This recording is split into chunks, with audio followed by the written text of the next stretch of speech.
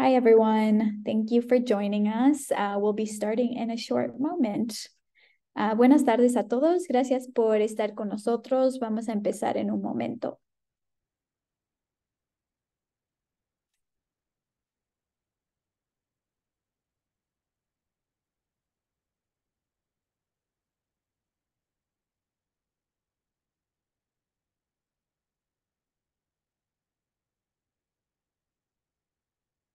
I want to let everyone know that there is a Spanish interpreter. Um, his name is Carlos Diaz de Leon, and um, you can hear this webinar in Spanish. Quiero que todos sepan que hay un intérprete para español, entonces pueden oír este seminario en español. Um, su nombre del intérprete es Carlos Díaz de León.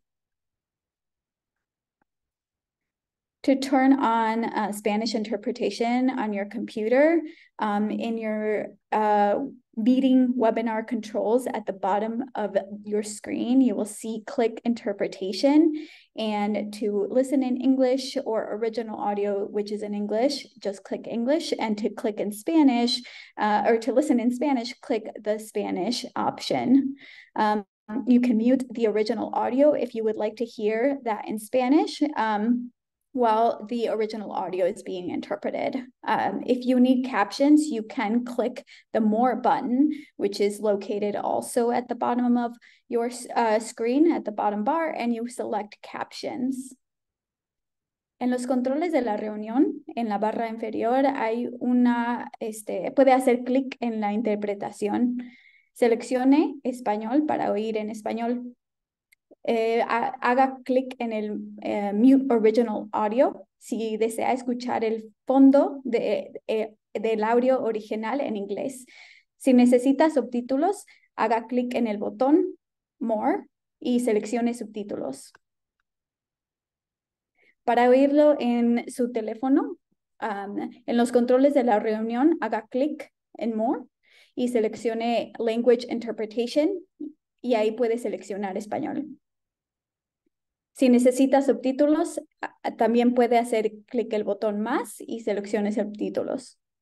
To listen in Spanish on your phone, uh, you will have the same controls in, uh, in the in uh, in your meeting controls just tap more and then you can select language interpretation and you can listen in english or spanish and there's also captions uh, in with the if you click the button um, more, uh, which is the three dots, you um, select captions there as well.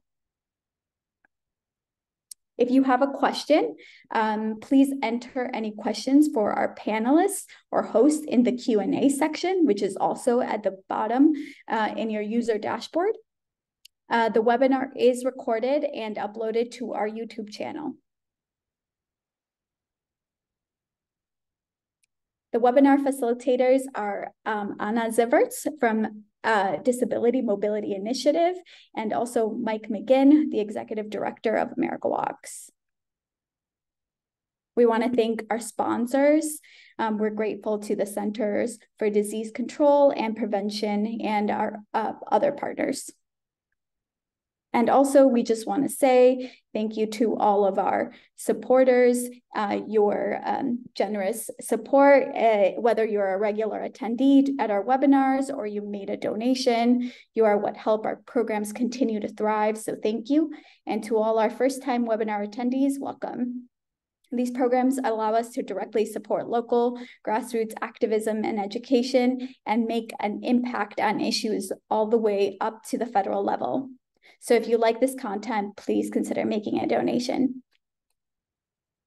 Again, just very quickly, I will say the interpretation in Spanish en los controles de la reunión en la barra inferior puede uh, clic en la interpretación para oír este seminario en español. Haga clic en mute, mute Original Audio si desea escuchar de fondo el audio original en inglés. Si necesita subtítulos, haga clic en el botón botón más y selecciona subtítulos. Eh, también puede oírlo en su teléfono. También tiene controles de la reunión. Haga clic en más. Puede seleccionar Language Interpretation. Seleccione Mute Original Audio para no escuchar de fondo el idioma original. Y si necesita subtítulos, haga clic en el botón más y seleccione subtítulos. I will hand this over now to Anna to uh, present our webinar speakers. Welcome, everyone. Thank you so much for joining us today. Uh, again, I'm Anna Zivarts. I direct the Disability Mobility Initiative at Disability Rights Washington in Washington State. And I'm thrilled to be joined by a panel of experts uh, and advocates and elected leaders today. Our, our first advocate is Tennille Warren, uh, who's a non-driver advocate from Metro Transit Minneapolis. We also have with us Adrian Razavi from the Denver Streets Partnership, and they're one of the host organizations for A Week Without Driving. Uh, and then we have Council Member Lindsay Schromen-Wawrin, who's a council member from Port Angeles, Washington, and who has participated in the Week Without Driving uh, the last couple of years. And then finally joining us in a few minutes uh, is Senator Marko Liias, who is uh, a senator from Washington State and also the chair of the Washington State Senate Transportation Committee. Thank you. Uh, so we're going to begin with a couple of questions um, for our, our, our guest panelists today. And the first one is just for you to get to know them a little better, for each of them to introduce themselves and to talk about one place uh, that you normally go to that's easy for you to get to, and one place that's particularly hard. And I asked this question today because it's a question that we started out asking folks uh, as part of our story map and organizing work here at Disability Rights Washington, as we wanted to get the, to know the needs of non-drivers um, in our community and where uh, where they can access, where they can't, and what could change to make their communities uh, easier for them to get around. So uh, let's go in that original order. Uh, Tennille, uh, then Adrian, uh, then then Lindsay. Talk to us. Um, quick introduction: who you are, where you live, one place that's easy for you to get to in your community, and one place that's hard, and why. Thank Tennille. you. Hi, thank you. Um, so I'm Tennille Warren. I'm a commuter program specialist in um, Minneapolis, St. Paul area, Minnesota. Um, Normally, I am a public transit rider, walker, car share, those kinds of things. Um, the easiest place for me to get currently is to work. Um, and the hardest place for me to get is um, somewhere necessary, and that's like doctor's appointments. That's that's hard. So, um, thank you for having me today. Awesome, thank you, Adrian. Yeah, hi everybody. I'm Adrian Razavi. I'm the organizing manager for the Denver Streets Partnership here in Denver, Colorado. Normally I get around by e-bike. Um, I also take the bus or the light rail sometimes, sometimes with my bike. Um, and then I do have a car that I take for some trips, but try to avoid driving as much as possible. Um, for me, it's pretty easy to get work to work downtown on any of those modes. It's actually hardest by car because it's just stressful, but um, there's a lot of transit options on a direct east-west line, um, so it's pretty easy to do that. I just it takes a lot of time, um, and then it's really hard for me to get into places that are just southwest of Denver, so like on the map, um, because it, there's a lack a lack of transit options that are kind of diagonally across town, uh, and then if you miss transfers, that can leave you wasting a lot of time. Thank you, and Councilmember uh, Schromen-Wawrin. Hi, everybody. Lindsay Schromen-Wawrin. I um, so Port Angeles is a rural community of about just over twenty thousand people on the Olympic Peninsula of Western Washington. Um, it's it's rural Western Washington. Um, so our bus service historically has really uh, been like a lifeline service, and you end up having to schedule your day around the bus like before you make an appointment in another town, you would need to check the bus schedule to make sure you could actually make that appointment time, that sort of thing. So um, for folks who don't have the ability to drive, it's um, it's very difficult.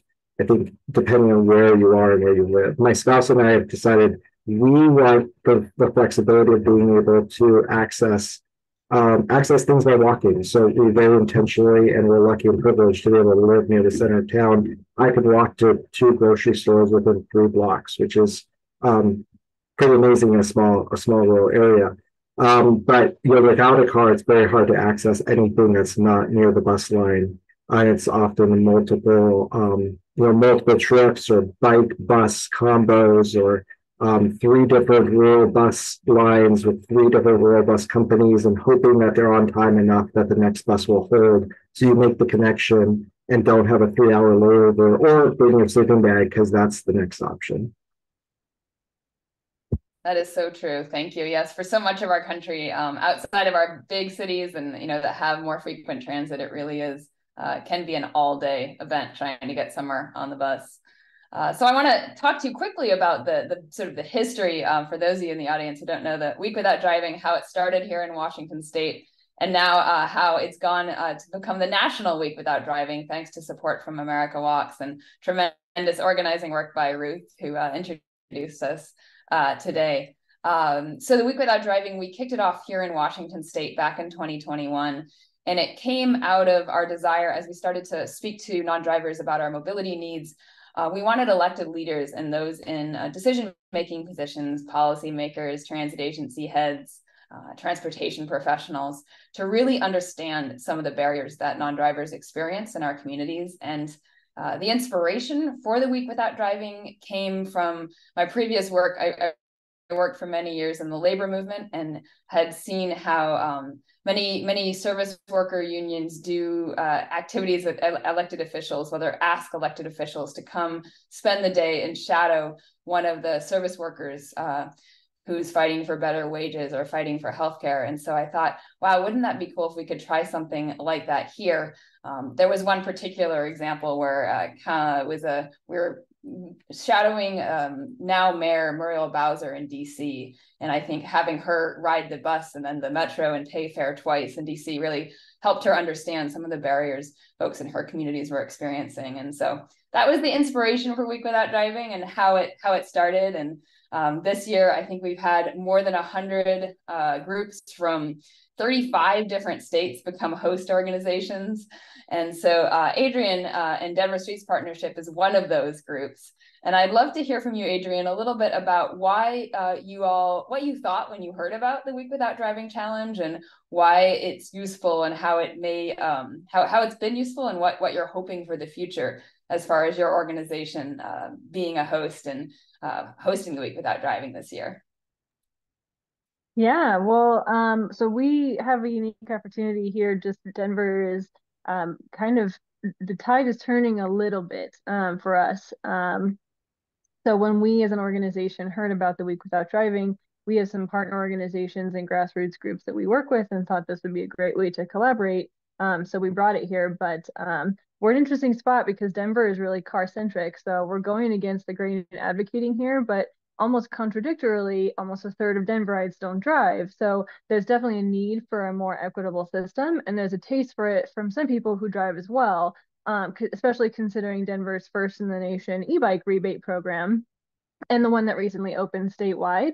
There are now more exciting ways to get around without driving. So we're hoping that this challenge sparks some long-term habit changes in replacing some car trips.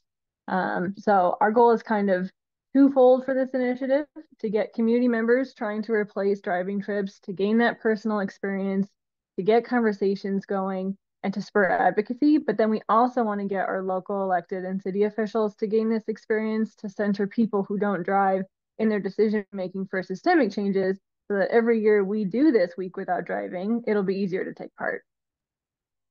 Exactly. Yeah, it's definitely something we've seen gain momentum here in Washington State over the last couple of years. And, um, you know, this year it finally has sort of launched on its own. And even without us as an organization asking elected leaders or community groups to, to do the outreach, we've seen how um, we've gotten a lot of proclamations and a lot of participation.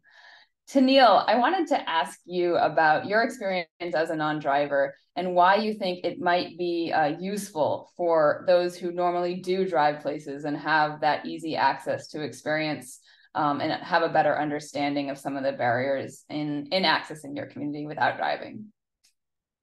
Right. I think it's useful um, to be able to step out of your comfort zone and see what other people are experiencing. Um, it's easy for us to say, you know, I drive everywhere, or someone to to not know what the barriers are for someone. Then I, I feel like try that.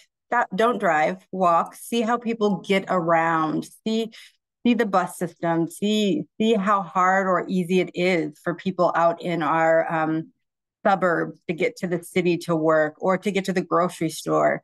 You know, trying something different to see it from somebody else's eyes is is it's just it's a good way to to do lots of things, um, especially if you're a decision maker. Um, you want to talk to the ones that those decisions are going to affect. So I think this is a good thing. I want people to try it. I want I want more people to take part in it so they can see what you know, if you're not aware of something, you can't really change things. But if you do it, then you know what the barriers are and you, and you can help change. Is there a particular barrier uh, that you wish or or experience that you wish uh, an elected official would have that's something that you you encounter in your uh, life? You know, for me, it's um, you know, I work for a transit agency, and most people are are are willing to listen, but it's the it, you know, especially for me, it's the doctor appointment. Those are necessary. I have to get to those, and I can't. I don't have the ability if I if I'm not paying for you know a car share or if I'm not walking miles and miles and being exhausted by the time I get there or um, you know, bugging my family and friends to take me. Um, so now, currently, I am having the personal struggle of switching doctors that I've had for years that know my situation, that know everything, so that I can be closer to transit to get there easier when I, I have to go see them. Um, so I just, I think if people really understood that you know people that take transit all the time me that's that's what i rely on that i can't use it for everything um, and especially the things i need i need my doctors i need to be able to see them um, yeah we can do virtual visits but then i physically need to be there for other things tests and all of that um, just just so people really you know, I, I just want people to understand that it's not something that I'm choosing not to do. I just that that is a necessity. The doctor is a necessity, and I wish more people would realize that. Yeah, no, there is, and and it, I think for those of us who can't drive, like you know your world starts to shrink when you start to eliminate things and things. And then there's things you really can't eliminate right? Like going to the doctor or the er or you know a pharmacy like these things uh, are part of life. And we should be able to build communities that that can work for those in, in our you know have our access needs met um, Lindsay, I wanted to ask you a little bit about your experience with Week Without Driving last year. And I um, remember we, after the Week Without Driving, uh, my colleagues and I did a bunch of video interviews with elected officials who participated. And your video stood out to me because you were talking a lot about, uh, you know, what happens when folks age out of driving and how communities like Port Angeles and other parts of, of the country where there's a lot of seniors moving because they're lower cost often are more rural and they don't have that that transit reliability. Do you want to talk a little bit about you know your your reflections on the week without driving, your experience, and that connections to your work around livability and livability for for seniors? Yeah, happily. I and I apologize, my mic settings were off. Is it easier to hear me now? That is so much better. Wonderful. Okay. Sorry about that. No worries. Um, yeah, so um, week without driving, right? So I'm asked as an elected official, and I'm like, well, I really shouldn't look at my calendar first because that wouldn't be fair. So I just say yes. And then I look at my calendar, and um, my spouse is a wildlife guide. She takes people on um, day hikes in the park, and occasionally I'll support her, like to drive if they're doing a through hike where you know it's transportation for one one spot or another and sure enough, she had asked me to drive for her on one of the days a week without driving. And now I was stuck. I'm like, oh no, like I'm going to have to ask somebody I love and care about, and I'm here to support. Hey, uh, I can't do this for you. I have to inconvenience you.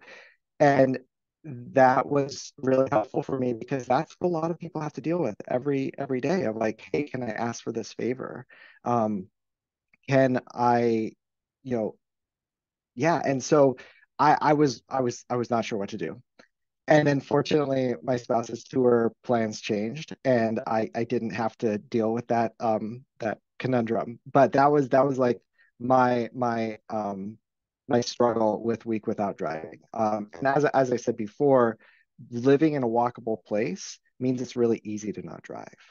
Um, so there's such a connection between our land use patterns and our transportation patterns and the way that we develop uh, cities or, or rural places and the way that we expect transit to work in those places. So um, Port Angeles, I- I've heard stories from people who use wheelchairs of getting let off the bus and being on a sidewalk where there's no curb cuts. So they're stuck. They're like on an island.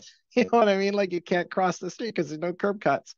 And it's like, okay, great. Like that's really helpful that the bus, you know, is able to take somebody in a wheelchair and, and leave them stuck then. And then the next bus is half an hour or even an hour away, right? So there's all of these inadequacies in our transportation system that um, people age into not being able to drive most of us will become disabled before we pass away. So, like, this should be something we expect. My mom had a brainstem stroke in 2014. The next morning, her life was completely changed and she's never driven again. Actually, she tried to drive and that was a huge mistake and she shouldn't have done that. Um, but like that's how much people want to have what we perceive as that freedom of driving. And we know kids aren't driving um, I think it's something like a third of the population doesn't drive. So why are we designing these urban spaces that categorically excludes so many people from being able to have mobility and access and, and you know what we think of if we think of the car in, in US culture, that access to freedom, freedom to move around should be available to everybody regard, regardless of whether you drive. Exactly. Yeah. And that that that idea of that burden of asking for favors, I think is something that we hear a lot in reflections from elected leaders and from, you know, non-drivers in, in our daily lives. You know, it, it may be okay to ask once, but then when you start to do it all the time or you do it because it's uh, you know, it, it seems like an optional thing, like a social activity, you choose not to ask. And, and that does um, really contribute to isolation.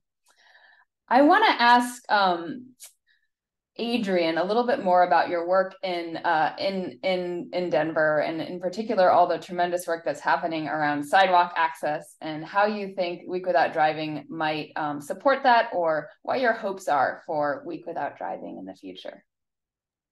Yeah, well, um, Denver was we were excited to have a ballot measure passed last year that um, totally revamps how sidewalks are built and maintained uh, in the city. And so it's going from um, essentially private property's responsibility to um, the city's responsibility through a fee.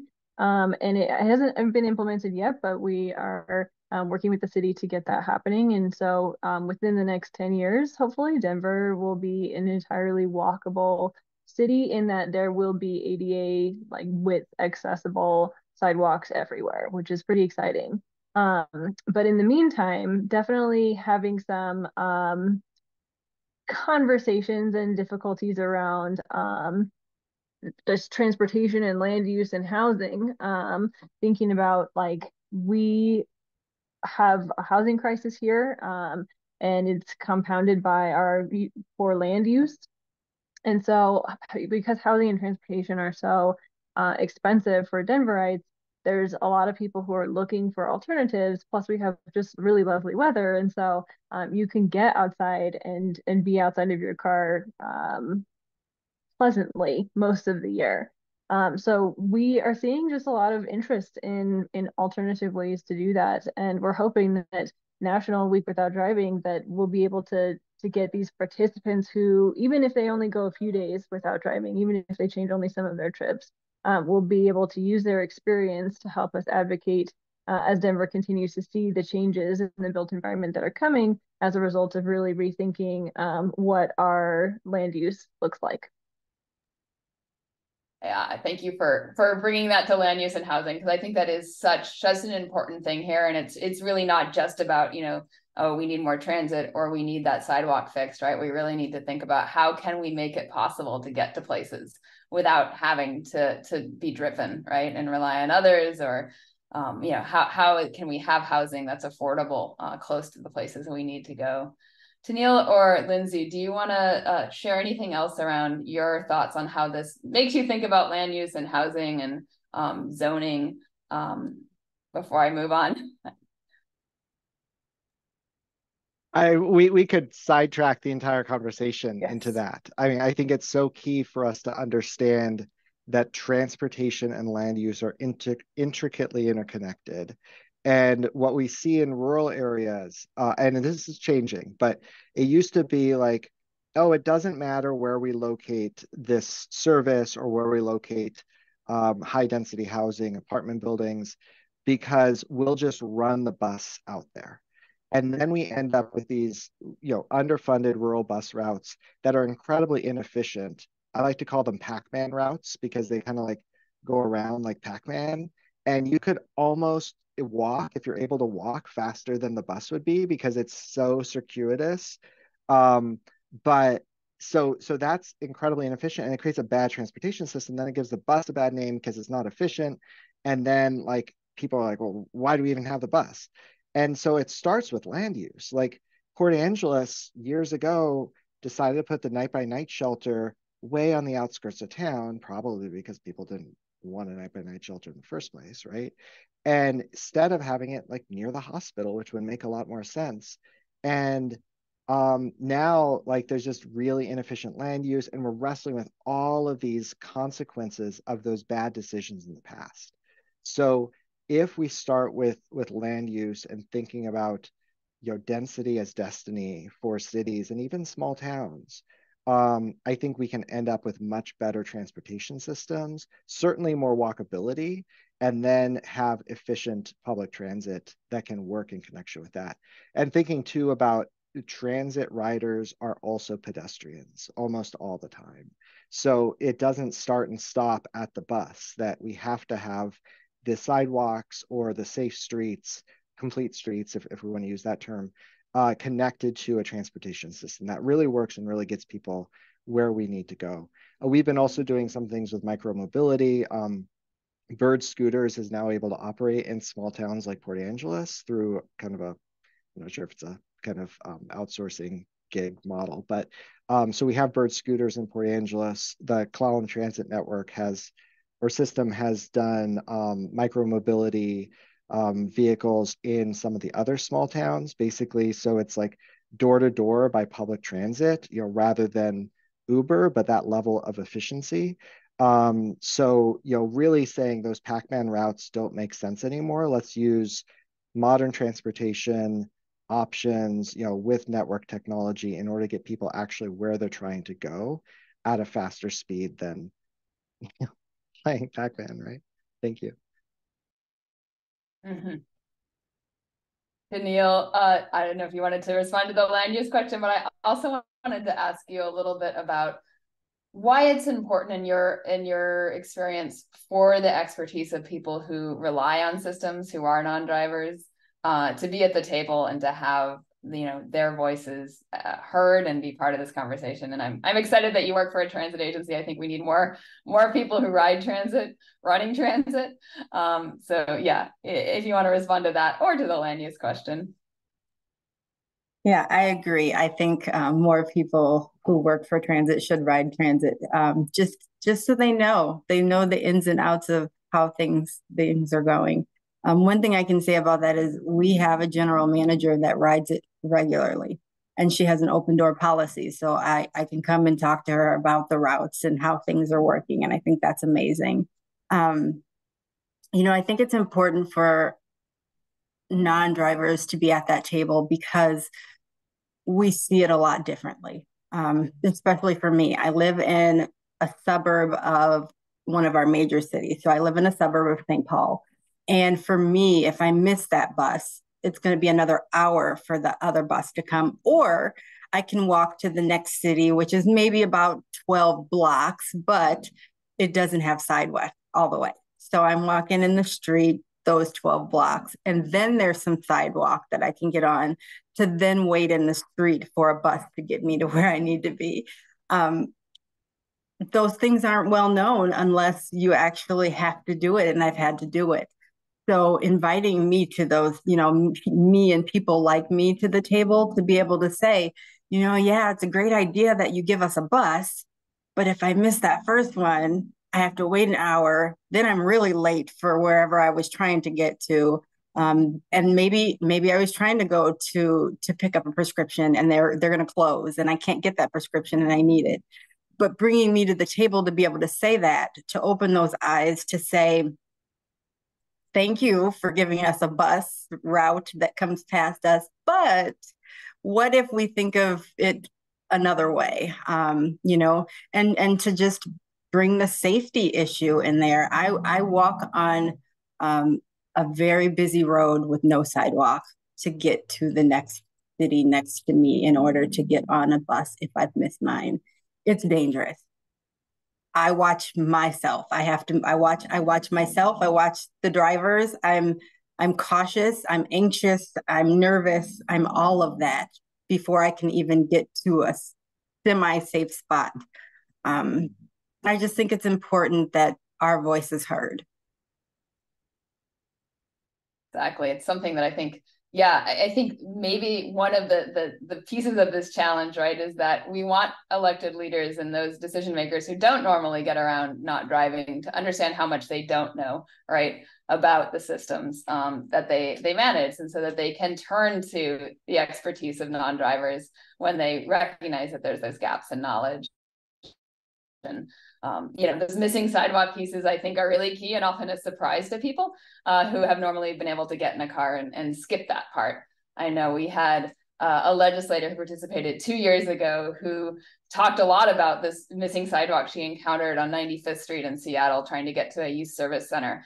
And uh, and we've been been able to you know through a lot of advocacy from her and other folks um, get that missing sidewalk, the funding for that secured, not constructed yet, but you know, it does lead to change. And so that piece is exciting. Uh, thank you, Senator Liias, for joining us. I really appreciate you making time in your busy schedule. So I'm going to go ahead and have you introduce yourself. Yeah, just so everyone knows who you are, uh, where you live, and uh, what your experience of Week Without Driving has been so far. Hi, everyone. I'm Marko Liias. I'm a state senator in Washington state. I also get to chair our Senate Transportation Committee. So I get to work with Anna all the time and am so delighted uh, to see her bringing our uh, Washington innovation to the national stage, uh, Week Without Driving. I live in uh, suburban Seattle metro area in South Snohomish County. And we just moved over the summer, my partner and I. And um, you know, at the time, I sort of had a sense that we were not going to be as connected to our active transportation, and Week Without Driving is always a good excuse to like actually sort through the details. And I discovered that I am a 30 minute walk from my nearest bus station, bus stop here. And the nearest bus stop is not an express bus stop. It's like 30 minutes to like a very low frequency bus service. Um, we also have not yet implemented our e-bike incentives. We've passed them, but they're not on the ground yet. So that's my eventual dream is to get an e-bike because it's uphill, like seriously uphill to that bus stop. So, um, you know, for me, it's been a lot about, you know, thinking through how would I uh, get to that bus stop if I needed mobility assistance or couldn't walk up a long hill? And it's a $20 Uber ride uh, for me to get up there, or what I've resorted to this week, which is carpooling. So um, asking folks to to come get me. Today I get to work from home, uh, which is a a much uh, less stressful way of uh, working without driving. But um, yeah, it's been it's always a good eye opener to like think about not just how do we do mobility for the whole state, but like how do we do mobility for me in my life and think through the steps of what I would need to take um, if I was going to do this on a regular basis. For sure. Yeah. And those those hills, those hills are real. It definitely motivated me to get e-mobility in my life um, out here in Seattle. It makes a big difference when it's less of a, oh my gosh, can I really make it up that hill uh, choice. So um, I wanted to uh, ask Adrian if you've had uh, seen so far this year any elected officials from the uh, Denver area who participated or are thinking about it, or are policymakers, um, other leaders, any of their thoughts or reactions or responses uh, to the challenge, and and where you think that might lead. Um, we haven't heard from them directly, but we have gotten a few folks um, who are elected officials to participate.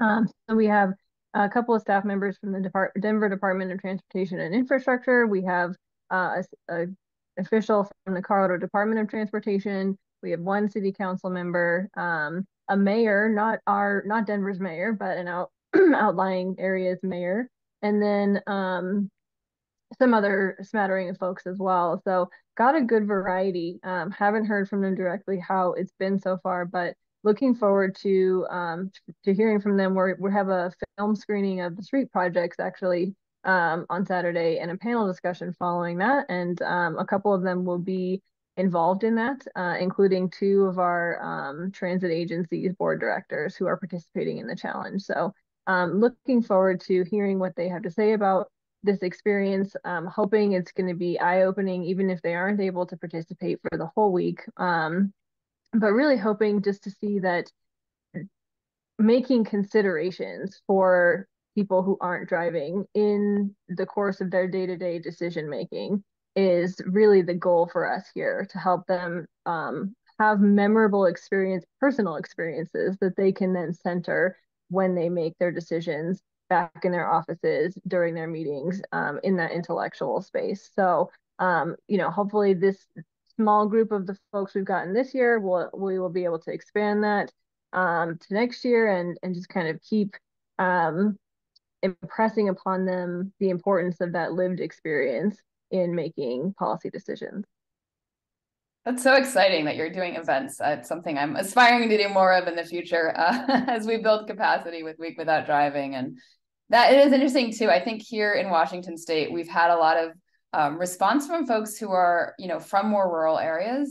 And that is surprising to me because we know it is, you know, generally much harder and um, but you know it is that it's usually someone who knows someone in their personal life an elected official who has a family member or a close friend or a relative who can't drive. And they know that that yes there are even in small towns and rural areas lots of non-drivers. And we can't just think about non-drivers in big cities um, that we need to think about those those access needs everywhere and uh, figure out you know ways to make make connections and make sure people don't get isolated and uh, and, and stuck at home. I um, wanted to ask uh, Senator Leah, since you joined us, you get another one, um, and then we'll probably turn it over to Q and A in just a few minutes. So start thinking of your questions and submit those. But Senator Liias, I wanted to ask you um, what it's been like, and and uh, to have you know since we've been doing this organizing here in Washington State, elevating the voices of non-drivers, emphasizing the importance of of connections for those of us who can't and don't drive, can't afford to drive. How that's helped shape some of the transportation work at the at the state level, um, and what you what your hopes are uh, for uh, for policies making it easier for people to get around without driving moving forward.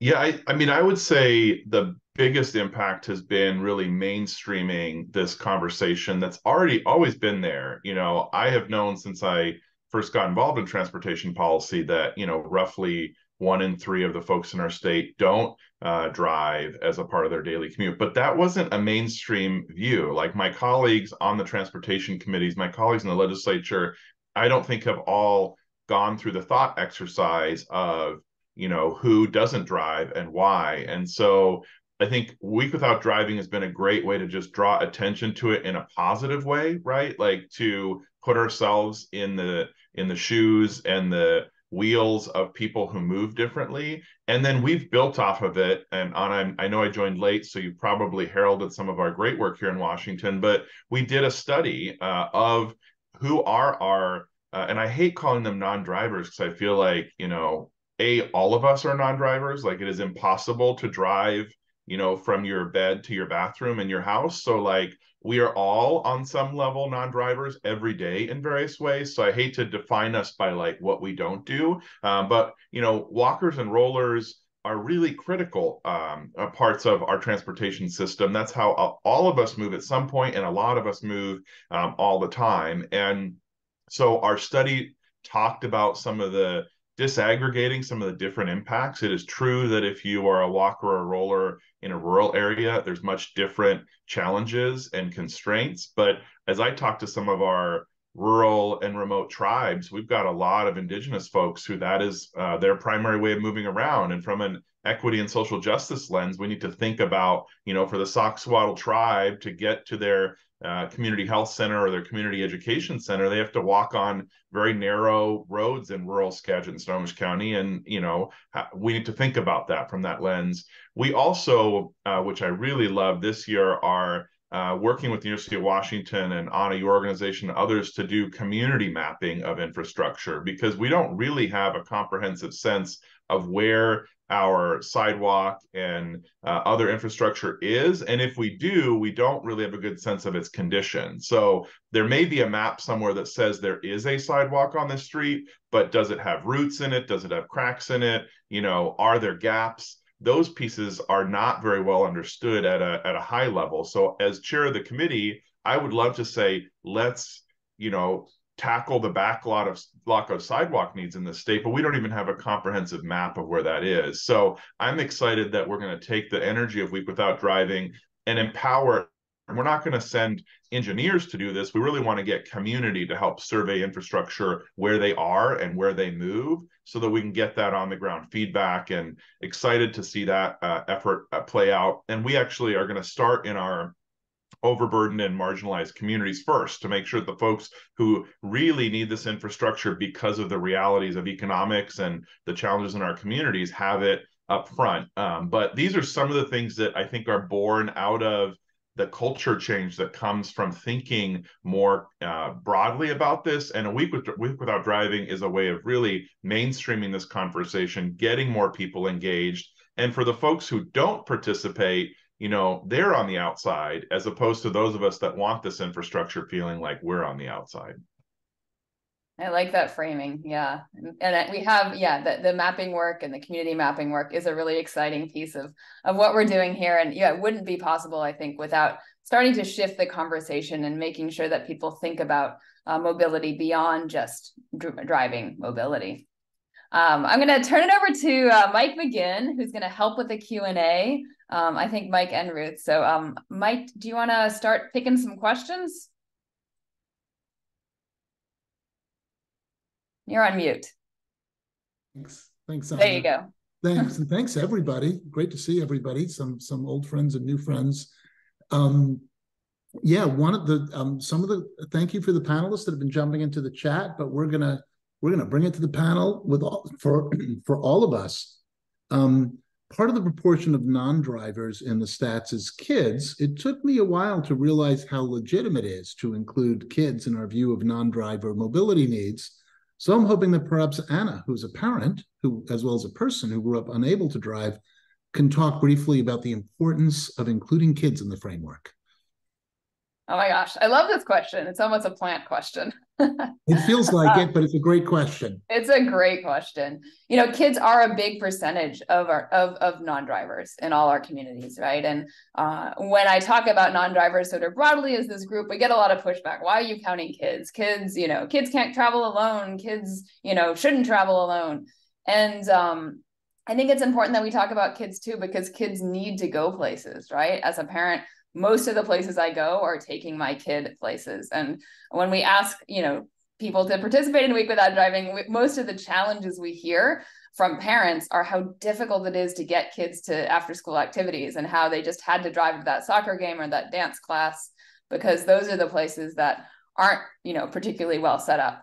And you just think about what that means for families that don't have access to a car or time to drive or um, or can't drive like me. Um, what does that mean for for those families? And so yeah i think it's important that we include kids. I think it's important that we think about you know and older kids too who want to be able to travel ind- independently and can if, if we have safe crossings and if we have reliable buses.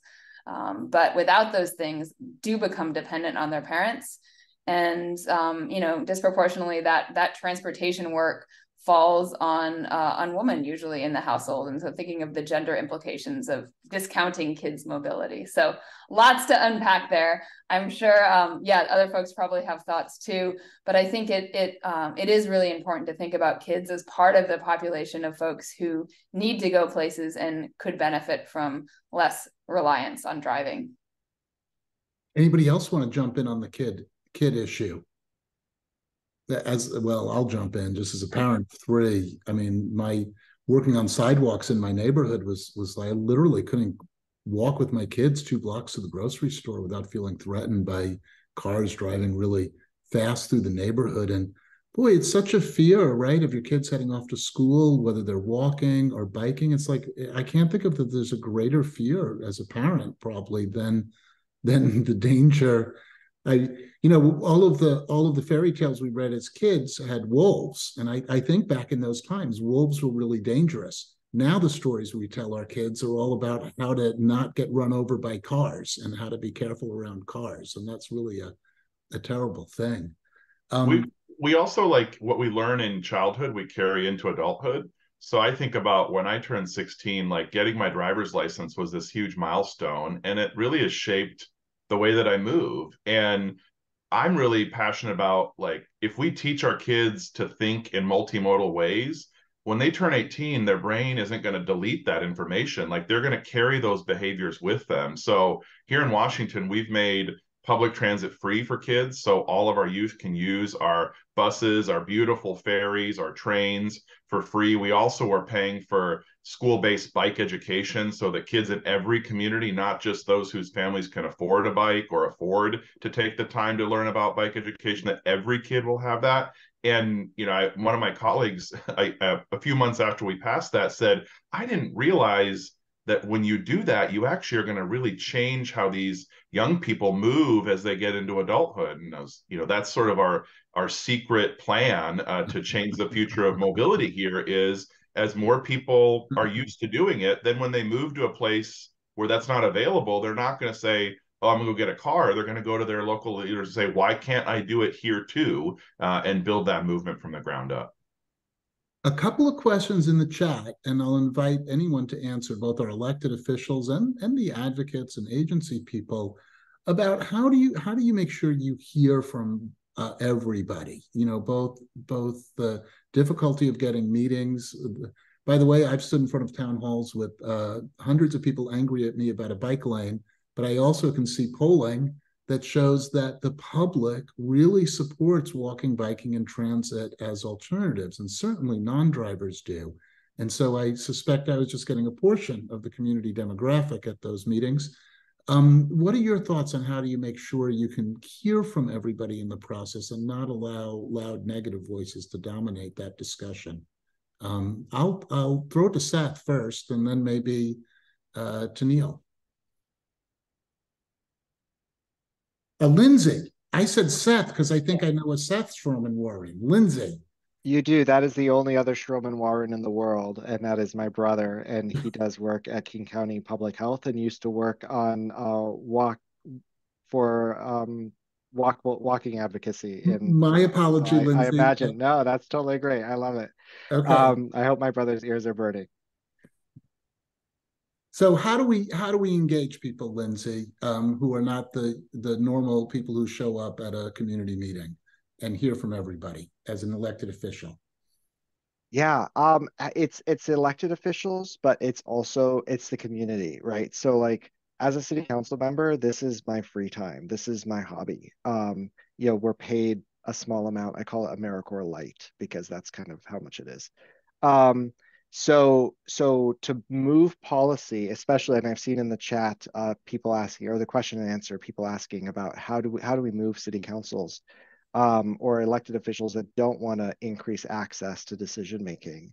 I think it's a, it's it's community organizing. It's figuring out who are our allies both inside and outside of the agency and how do we build power to make the changes that we want to make so i found if i'm the only one as an elected official trying to move a policy i have to be the policy maker i have to be the community organizer i have to be the the policy researcher all at the same time and i i know how to do that but i don't have the time to do that in that moment to actually make the change happen. Um, and then we get kind of sidelined and and you know the, the status quo comes in place. And we know the status quo is is driver oriented development patterns and assumptions that everybody can drive which is just categorically not true. So it it it's going to take not just elected officials uh, but it takes community members and it takes staff as well. Find the allies in the agency who want to move in the right direction and um, you know work together. Kind of inside outside strategy is a term people use. Collaborative governance is a term people use, um, and then do that over time and build those relationships. I know that's a pretty generic answer, but I think we're we're talking in multiple different localities here. Neil, from an agency perspective, what what what what would you say, um, both to the advocates out there in the world and to agency people about what they can or should do differently? Yeah, I, I agree. It's the community. I I think it's talking to our community partners, talking to them because they know their communities and being able to get that word out there and saying we want these folks at the table. We want to know what their experiences are um, building those relationships by asking questions and listening. You have to start there. Um, I think it's it's going out there and doing it, it, it, if it's virtual, if it's uh, you know if it's online, phone calls, in person, whatever works for that community is what you need to do. Um, and every, everyone's going to be different, but being able to meet them where they are um, and listening, like that's the huge part of it being open to listen to what they have to say. It might not be something pleasant, but being able to listen to it and understanding where they're coming from. You know, it is a it is a place of fear when you're walking and cars are coming at you. Um, and people want to be able to verbalize that and and for somebody to actually care enough to ask those questions.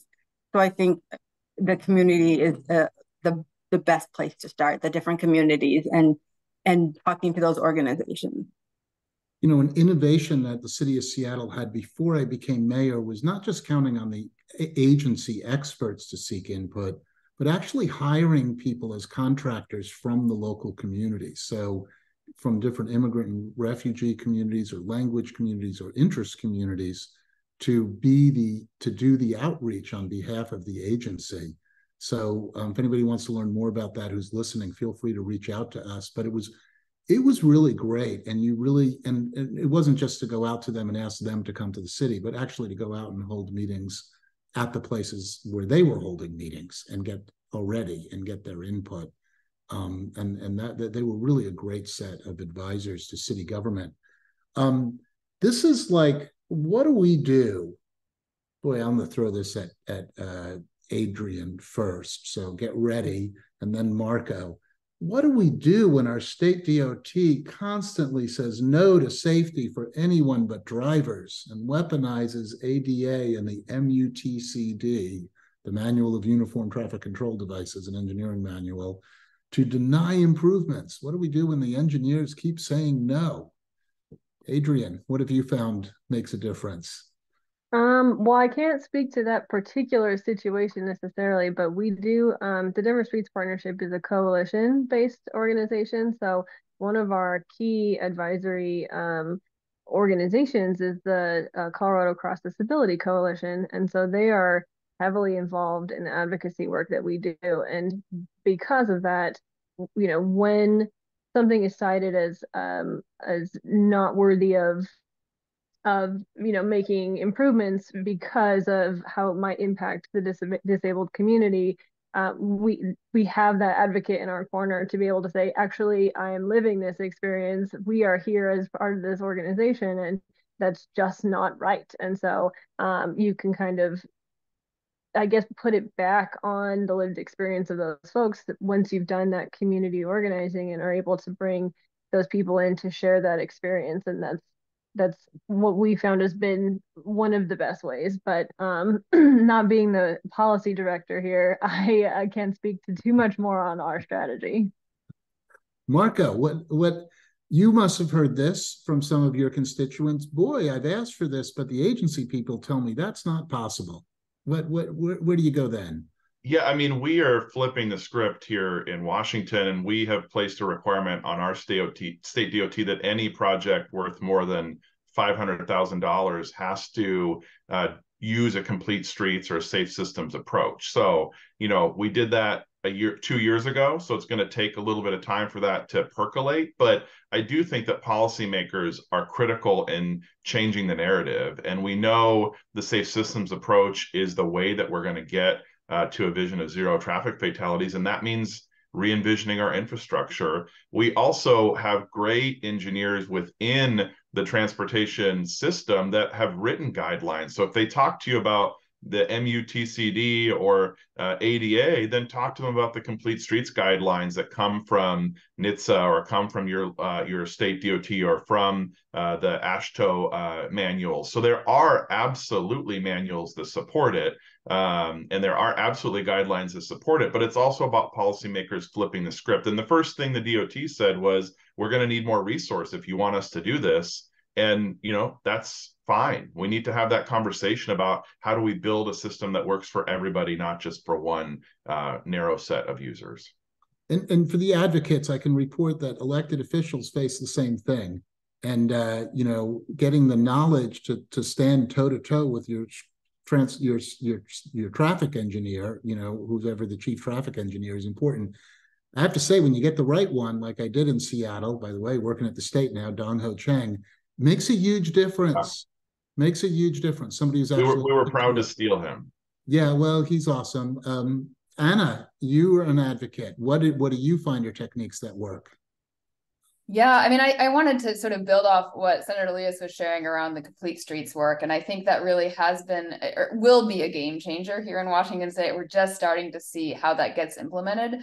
But I spent uh, the summer working with our state DOT to go out and um, bring community members along with teams of engineers on a bunch of state uh, walk roll audits in different parts of the state for the engineers to experience how the infrastructure was and wasn't working for people walking and rolling and biking and in the context of the complete streets uh, mandate now how they could improve that in the future. And i think you know having those experiences of using the infrastructure like we ask people to do during week without driving and also having the experience of using it in partnership and in parallel with someone with a mobility disability or a vision disability so they could really see what it's like to cross that highway moving you know um, at one or two feet per second. Um, what what does that feel like? And and it really, I think, um, made them understand the importance of the complete streets work. And I think many of the engineers who I anticipated would be less welcome to this new mandate were really excited about rethinking how they could build roads to, to work better for everyone.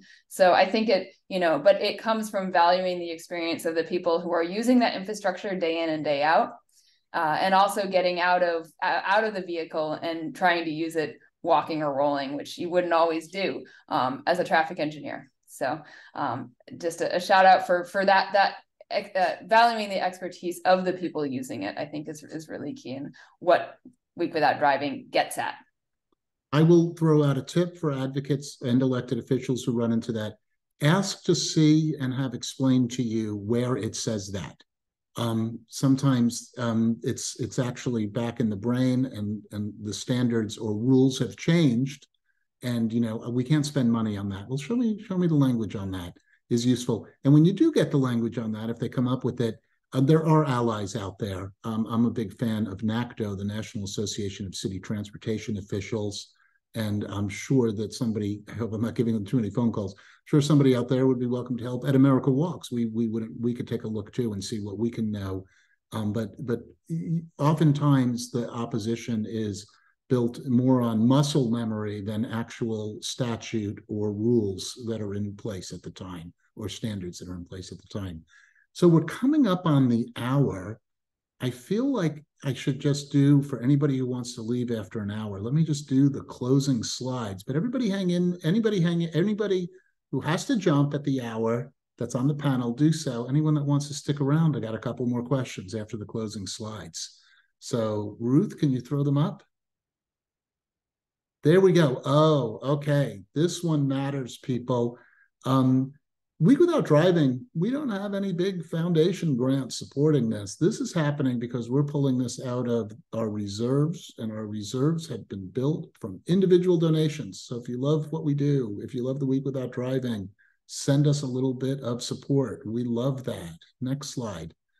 Um, the, uh, the oh, next webinar, Inclusive Transportation, a manifesto for repairing divided communities um, with one of our former board members, Veronica Davis, who now is heading Houston. We're really looking forward to this one. So uh, look on the look on the website and you can find it. Um, and is that it, Ruth? Do we have any more slides after that? That's it. That is it. Okay, well, let's just jump back in for a couple more questions with, with who's still with us. We lost Mar uh, Marko, and but but really added quite a bit, and that was great. Um, one of the questions we heard was um, we were interested in hearing more about the community mapping work you touched on briefly, and have any of you been using OpenStreetMap to look at walking, biking, rolling infrastructure? So I'll I'll toss that to um, Lindsay or Anna if they want to take a shot at that. I can take a, I can talk a little bit more about the the mapping work. It's still, uh, it was it was passed in the last session um, of the legislature, and we're still um, getting it spun up. The work is being led by the Taskar Center at the University of Washington. They're a center that focuses on accessible technology and has done mapping projects like this in um, parts of the U.S. and also parts of Latin America. And so we'll be building on that model in partnership with Front and Centered, which is a coalition of uh, environmental justice, BIPOC led groups. Uh, so still figuring out how that's all going to work and what it's going to look like. But um, as we get that worked out, I'm sure we would be excited to share best practices. And I am not an open streets map person, not a total data person, but I know it exists. Um, if anyone else wants to jump in on that one. Yeah, Yeah, I'd have to defer to to our uh, staff on the OpenStreetMap stuff. I hope it's being used, but I don't know um, for sure. Um, I, I noticed in the Q and A there's there's questions about the challenge of getting agencies, cities, uh, transit agencies, uh, the state to change what we're doing, and it it is it took us a hundred years to build this system that is entirely focused on on cars. And we're not going to fix it overnight even when we have the political will to fix it. So i think there's a, initially kind of a cultural change and a political will change that we have to make. And then it's actually like getting it on the ground and intervening in in every decision that's happening of like is this in the best interest of all street users and not just drivers. And it's embedded everywhere in a city's code, in a city's policies, in just the practices of city staff. Same thing at transit agencies, same thing at the state transportation agencies. So like it can get really frustrating and feel like we want to just scream at these systems of like, why don't you make this safe now? And and part of it is it takes a long time, even when we want to make it safer for everybody, it takes a long time to actually change the physical infrastructure because it took a long time to build it. So I, am not trying to to tone down the like outrage that I, I hear in the Q and A, uh, but because that that is important and that it motivates us, but also understanding this is a long game fight for us to make places where everybody is safe to travel around the way that they should be able to. Um, the the the the issue of like advocating within the the planners i guess the engineers especially it's the engineers they love to make this about liability and we can't you know do it the other way that people want to because we have this liability thing and it's all so convoluted and it was an eight hour webinar that they did and you know you're not going to understand it so don't even try. Um, and so just being really persistent with that and continuing to push is really key. Um, and yeah, I forget the other thing I want to say, but I'll leave it there. Thanks. No, I, you know, there's a pretty good close in there about the about the persistence that's required for culture change, and that really is, and that culture change is is part of the of the of the of the goal as well as the policy change as well as the infrastructure change. Like it it it, it takes all of it. I will give Anna a close because uh, that was sure. uh, Lindsay. That was a close and I'll let uh, I'll let Anna take a close, and then we'll uh, call it good. And thank everyone for coming. Obviously, Anna, last word. Yeah, I think you know on this question of you know, of course you want things changed now, right? And and yet it is decades of of work that's made the system not work particularly well for not driving that we built in car dependency, and so I think a lot of the work I do now is focused on how do we get people in place so that we can create this change over the next generation, right? And so I'm really excited about the younger folks, the Gen Z folks who are choosing not to have cars, um, often for climate reasons, uh, also for cost, right? I think that that's exciting. I think getting more non-drivers into positions of power, into transportation agencies, um, into on transit boards. I've been talking to Lindsay about how to do that. I think these things are really, really important because um, when you start to have people in the room who say the system is not working for me, that shifts the dynamic. Um, people can't continue to pretend that it's working and, and the status quo and business as usual is is going to continue. And so just encourage you to think about how do you get the voices of those most impacted of non-drivers into rooms where they're not normally. Um, and whatever that takes i think that's that's the direction that i'm i'm hopeful for and, and that i hope Without Driving inspires you to uh, to pursue. And thanks mike for for hosting this and for all your support to bring this challenge to a larger audience. I think it uh, is is starting to really uh, shift the conversation in a profound way and the week, this National Week with Drive, Without Driving has been amazing. The amount of interest nationwide. And I just want to say, you know, getting involved, you get to work with people like Anna and Lindsay and the other people you saw. And so, yeah, it's long, hard work, but you get to work with great people. So come on in. There's uh, great advocates around the country to join in with. Thank you, everybody, for joining us. And special thank you to all our panelists.